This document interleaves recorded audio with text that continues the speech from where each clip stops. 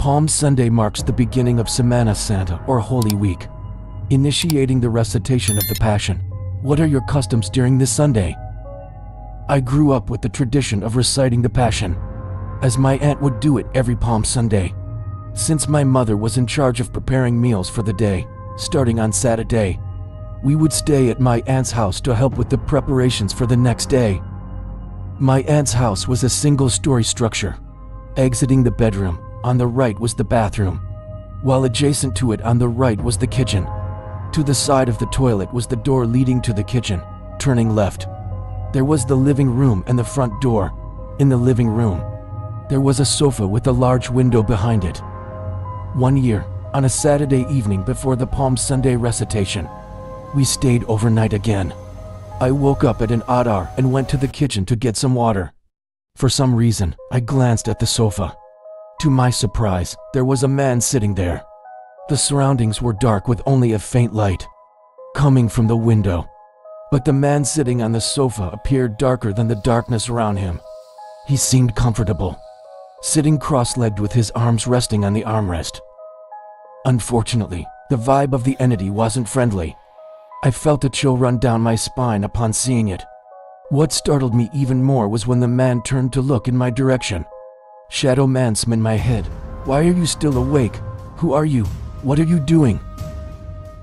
I couldn't respond, neither in my head nor out loud, because I felt the entity trying to invade my thoughts. It was an unpleasant experience, causing a headache and weakness, but I was thirsty.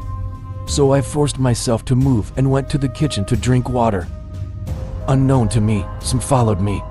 After I finished drinking, I saw him by the doorway. SM I heard him in my head. Ah, so you're here for tomorrow. And here's the creepier part. His voice was no longer loud in my head, it was eerily calm. Sm, reciting won't do anything. It won't do anything if you don't believe. It won't do anything if all you do is recite and sing. It won't do anything because your God was dead during that time. Then, I heard a creepy, low growling laugh from the shadow figure. After saying those words, he suddenly vanished, but I smelled a foul odor, like something burning, coming from where he stood. My office mates and I used to love going on road trips. We were all single and had no major responsibilities, so whenever we had free time from work, we would go on adventures here and there. One holy week, we were planning our route for the Visita Iglesia. One of our friends mentioned that his childhood friend from Pampanga invited us. He said they would give us a tour of Pampanga, including a visit to a part of the province where people would crucify themselves and others would whip their backs for penance. I was hesitant to join because I'm squeamish around blood, and I was afraid I might faint if I saw the crucifixion live. But since we had already budgeted and pooled money for gas, tolls, and meals, there was no turning back. On the day of the visit to Iglesia, we stopped by my office mate's childhood friend's house. We managed to visit seven churches that day. We also saw people whipping their backs and others being crucified. Surprisingly, I didn't faint. Nothing out of the ordinary, right? What was unusual was that my office mate's childhood friend never entered the churches. She stayed outside the whole time we were touring the seven churches. After dinner, while looking at the pictures we took, one of my colleagues, Elaine, noticed the same thing I did. Their childhood friend never went inside the churches. We didn't have any pictures with her inside. We even planned to make her the photographer. But she was always either by the candlelight outside or praying by the door. So, being curious, we asked her, why do you always stay outside the church or in the parking lot? Are you uncomfortable inside? Or are you scared of old churches? Our colleague and Elaine just bit her lip. She explained her story to us, and I was genuinely surprised. She said she has had lupus since she was a child, and her entire childhood was a matter of life and death. Her grandmother and mother made novenas for her, asking to prolong her life, and if not, to manage her lupus and she felt like she was promised to serve in the church, etc. So we asked her, Oh, so you were promised to serve in the church. But why can't you go inside? Her response, Because I see souls asking for help on the church floor. She couldn't concentrate with so many of them reaching out to her. when she was inside, so most of the time she stayed outside the door. We were all amazed. We looked at the pictures. But there was nothing unusual, just a lot of people. She said she goes to churches but prefers to stay outside, so she can focus on praying for the soul she sees. She moved to the States shortly after we met her, and as of now, she's a missionary volunteer. She still has lupus, but her symptoms are managed. Every Holy Week, it has been our family tradition to return to Nueva Ecija to spend the week there. As far as I can remember, it was in 2015 when we decided to go swimming at a resort in San Fernando, Nueva Ecija. I can't recall the name of the resort, but it was quite a distance from where we were staying.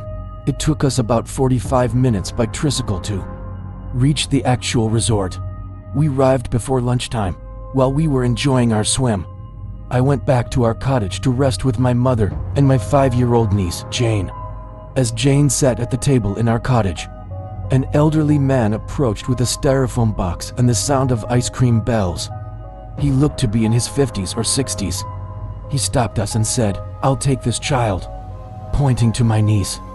We were surprised and asked, We'll buy that, but he responded, Do you have three million? My mother quickly replied, Oh no, dear, my grandchild is precious to me. Then the man suddenly left. I felt faint from shock and fear at what the man had done. I prayed that nothing would happen. At 5 p.m., we got ready to leave. It was already dark by the time we reached our accommodation. We had dinner and rested in our respective rooms. The next morning, my sister felt Jane, her daughter, had a fever. So she made her rest and didn't let her play. Shortly after, we heard the sound of ice cream bells again. I went out to buy some for my child, and to my surprise, when the ice cream vendor stopped, it was the same man from the resort. He was on a bicycle, and he looked exactly the same. I couldn't be mistaken. I was terrified and shocked. How did he follow us? Our accommodation was almost an hour's tricycle ride, away from the resort.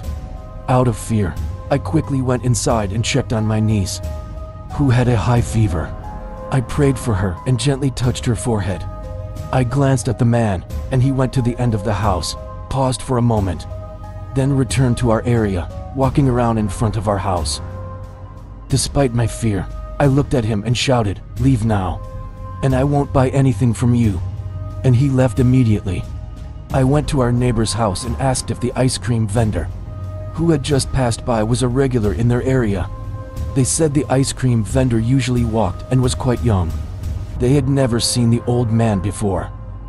Out of fear that something bad might happen to my niece, we asked around if anyone knew someone who could perform tawas as a form of folk healing. They directed us to someone in their area who was good at it. We hurried to their place, and as soon as we entered, the old woman said this was caused by an old person. You should have countered what he said immediately to prevent this illness from happening. She burned a candle on a basin and used tawas on my knees. We were instructed to put a cloth around Jane's waist and not to remove it, because she might get sick again. We were also told to fumigate the roof of our house with royally type of herb and give it to my niece to drink the following day. The next day, Jane's fever was gone. We followed the instructions of the folk healer and we burned the candle. Since then, my niece never had a fever again, and we returned home to Metro Manila that day, thanking the Lord for guiding us. We went home the next day, but I still have a lingering fear that the old man selling ice cream might follow us again. Until now, I can't shake off the memory of that incident.